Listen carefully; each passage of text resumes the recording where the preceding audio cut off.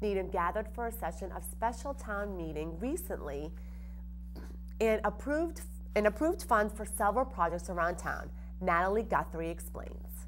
Although postponed by Hurricane Sandy, Needham Town meeting members were able to come together for the November 13th special town meeting.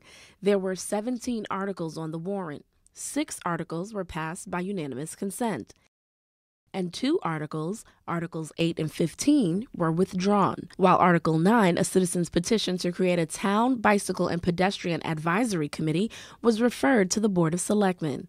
Town meeting members went on to pass seven articles. Article 4 amends the town's fiscal year 2013 operating budget.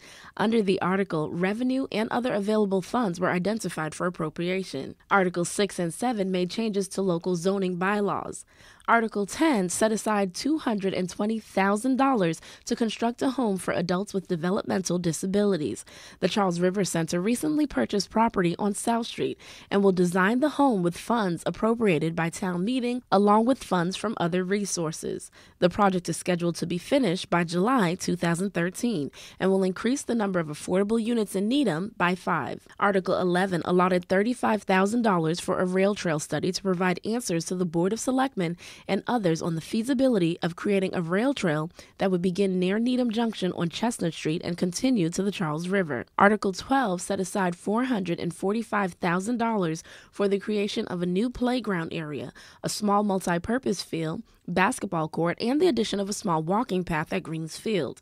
The town hopes to have the play structure in place by the summer of 2013. Article 16 appropriated $400,000 for soil remediation and removal to relocate a salt shed to the recycling transfer station. And lastly, town meeting members agreed to purchase 51 Lincoln Street with the passage of Article 17. Town meeting previously approved the purchase of neighboring 89 School Street and 37 to 39 Lincoln Street. The town hopes to use these locations to increase the size of municipal parking in the downtown area and for possible expansion of the police and fire station in the future. For the Needham Channel News, I'm Natalie Guthrie.